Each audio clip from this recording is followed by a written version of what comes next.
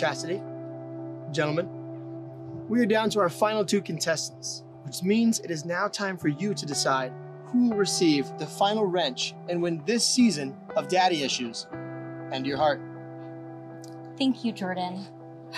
Wow. Hector, what a journey it has been.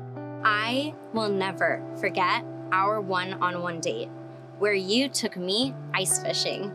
I said I was cold, and you said you were too. You always know how to make me laugh. I'm actually not the guy that took her ice fishing. I hate the cold and fishing. I think she's confusing me with Riley, that Hispanic guy with the white name. People been confusing us since that first night in the villa. Anyway, it's not polite to correct a lady, so here we are. Cliff. Cliff, my special, special guy. There's just so much about you that reminds me of my dad, or at least what I think he would be like. As you know, I never really knew him. You definitely were not one of the first contestants that got my attention. But after our overnight in the pleasure suite, you really showed me that you can be a good father figure. I mean, a good potential lover to me. Oh, gosh, no. We didn't make love in the pleasure suite. But if we did, that's between me, us, and the big man upstairs. Actually, we have cameras in there. What? We have cameras in there. You have cameras in there too? Oh, no.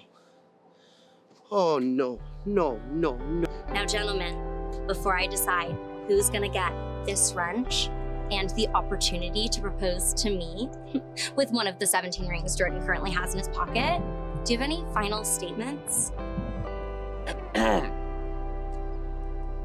Chastity. To say this process made me skeptical would be an understatement. But you may have just taught this old dog some new tricks after all. I really do see a life with you, where you continue your dental hygiene career, and I stay at home and raise our three wet Labrador retrievers and one outdoor cat. Oh, chastity. My little chassis. How I've prayed to St. Peter that he send me the woman of my dreams. Of course, she has looked different throughout the years, with some of the biggest changes coming when the network sent me your photo to reference for my self tape. I can truthfully say that my dream woman is standing in front of me as we speak. Chastity, it is now time for you to decide who will be going home.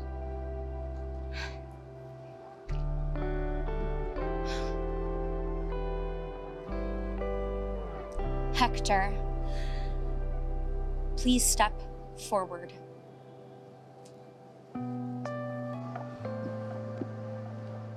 Will you accept this wrench? Well, ain't this a crack?